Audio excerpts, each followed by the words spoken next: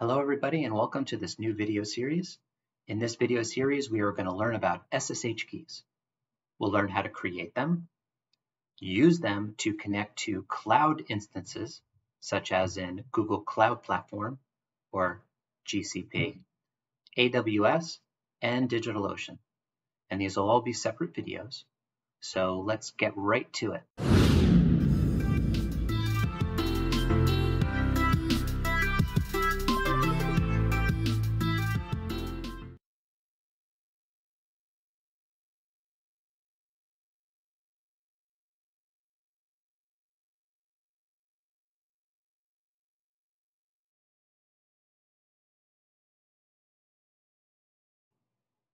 Okay, I'm going to start with a quick explanation of what SSH is and, and how it works.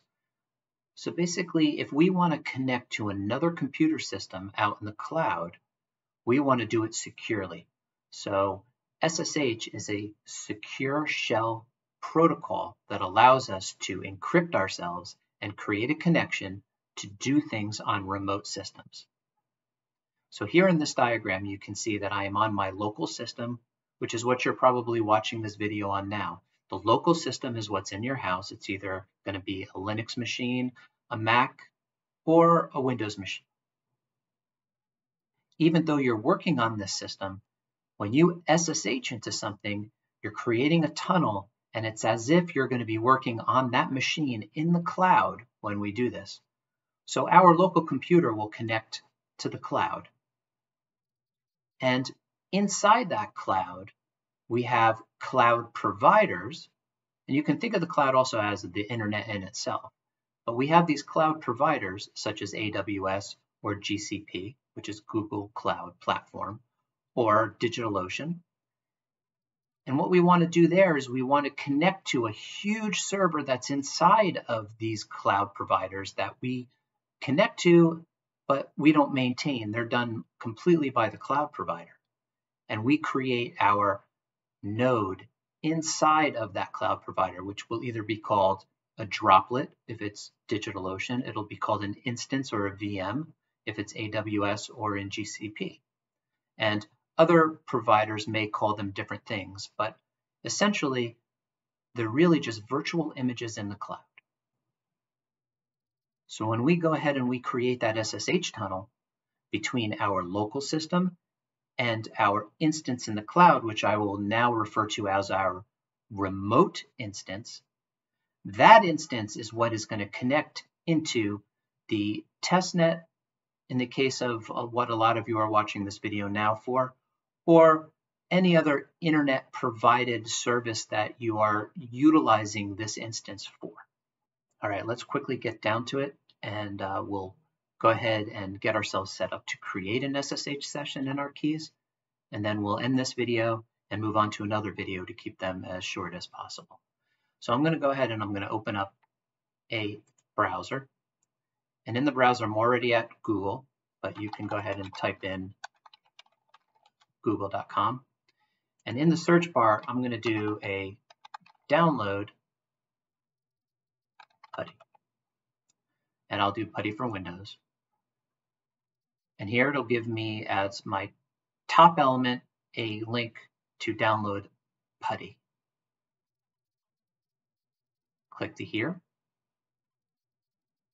And then what we want to make sure is that when we download the latest version, um, if this video gets a little old, just make sure you're over this 0.76 because there are upgrades and additions to the SSH protocol that may not be available in lower versions.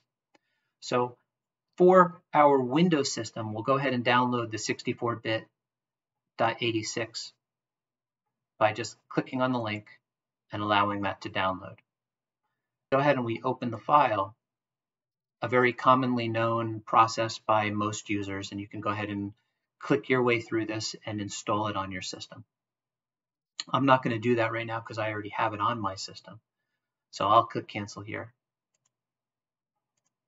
and finish out. Now, I also want to download PuTTyGen.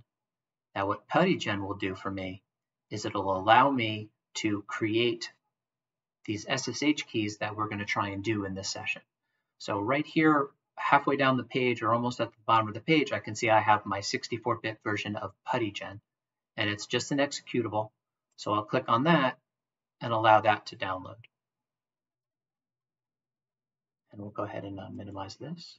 So the final concept that I would like to go over before we get down to actually creating our SSH keys and making a secure connection into the cloud to communicate between our local system and our remote system to get our work done is the idea of the key pairs. When we generate new SSH keys for this access, what we're doing is we're creating a public key and a private key. The public key we're going to place on our server, and that's going to act as our door lock, our deadbolt door lock that nobody's allowed into.